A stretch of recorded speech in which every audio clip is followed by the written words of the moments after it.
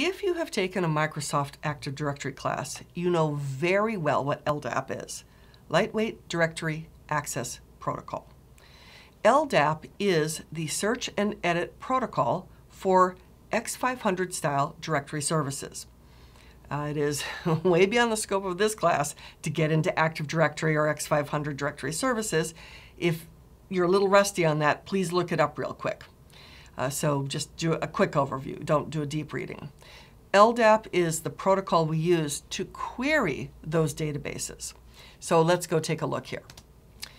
Um, LDAP enumeration. This lets us access distributed directory services. We query the database. Now, directory services are organized hierarchically and logically in a logical structure. They follow something called the X500 or the X.500 naming convention.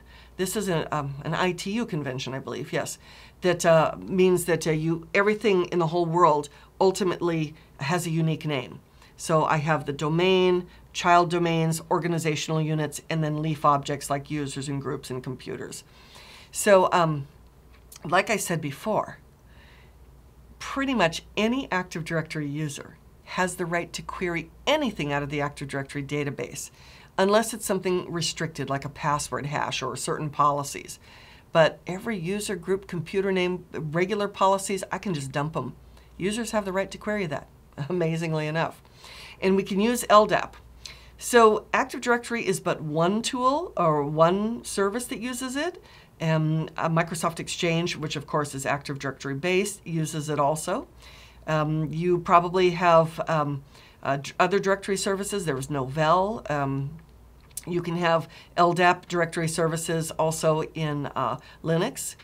So the client will start an LDAP session and it connects to a directory system agent on TCP 389 and it just sends requests. So you too, as an attacker, can query LDAP to get pretty much anything. All you have to do is bribe Susie Q with a chocolate bar or something, or chat up Moo in the bar, with, buy him a drink, and get the username. Or get their business card and just figure out from their email address what their name is. In Active Directory, chances are excellent that their email address is their login name. So then from there, we just have to figure out the password. Won't take too much. So the naming hierarchy for X500.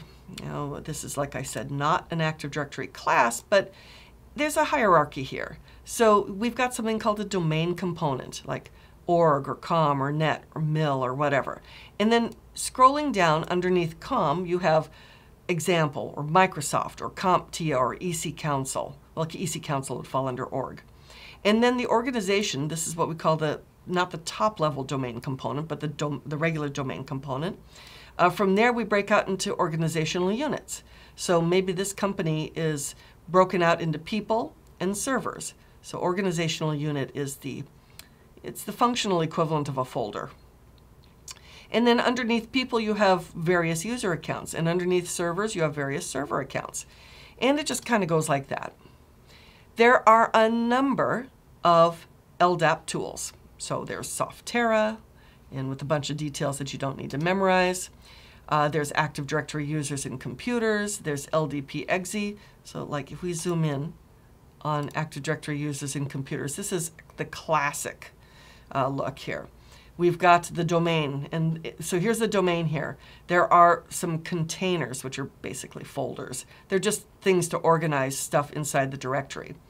And so we've got built-in, that's built-in accounts. We've got computers, we've got domain controllers. Foreign security principals are people from other domains who are trusted. Uh, we've got users, and so when we click users, you can see like a whole bunch of users and groups here. Classic Active Directory. So we can get huge amounts of information out of LDAP. And what's particularly important, try to find logins, try to find password policies, like are there lockout policies in, in case we want to do a brute force against a service. Uh, try to find out computer names um, and try to find out uh, anything that will give us an entry into that target network. So LDAP, very, very useful.